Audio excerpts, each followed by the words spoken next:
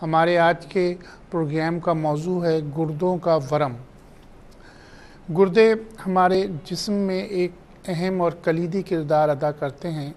पूरे जिस्म का जो धोबी है, वो ये गुर्दा होता है और हमारे खून को साफ़ करके और फिर दिल की तरफ़ रवाना करता है। खून की सफ़ाई के दौरान उसमें जो नेफ्राइटिस जिसे हम कहते हैं,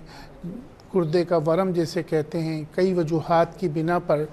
उसके काम की वजह से या बज़ दफ़ा कुछ बीमारियों की वजह से अमूमन गुर्दे में सोजिश हो जाती है या गुर्दे में वरम हो जाता है या फिर बहुत ज़्यादा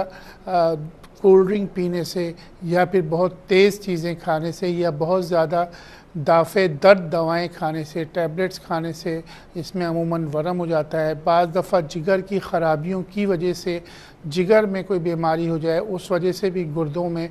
वरम हो जाता है। इसी तरीके से जब हम ये देखते हैं कि इसमें दो किस्म की अमूमन वरम होते हैं कि एक होता है जो कि बहुत ही क्रॉनिक हो जाता है, जो पुराना वरम कहलाता है। और इसी तरीके से वक्ती तौर पे पेशाब में बंदिश का हो जाना भी इसमें शामिल होता है कि जब वरम जो है वो कम होता है तो इसमें बाज़ दफ़ा जो है पेशाब रुक के आना पड़, लगता है और बाज़ दफ़ा पेशाब बंद भी हो जाता है। ये भी नेफ्राइटिस का एक अहम इशू होता है कि पेशाब का रुकना जो है वो बड़ी ख़तरनाक चीज़ होती है और गुर्दों की जो परफेक्शन है, वो कम हो जाती है। तो इसीलिए हम कहते हैं कि गुर्दों के वरम से बचने के लिए प्रॉपर तरीके से इसका इलाज किया जाए और कोशिश किया जाए कि इसमें किसी भी अच्छे तबीब से रुजू करके और इसके बाकायदा टेस्ट करवाए जाएँ और बाकायदा देखा जाए कि अमूमन कमर में पिछली तरफ़ बाज़ दफ़ा दर्द होने लगता है और उसे हम हड्डी का दर्द समझते हैं। तो उसमें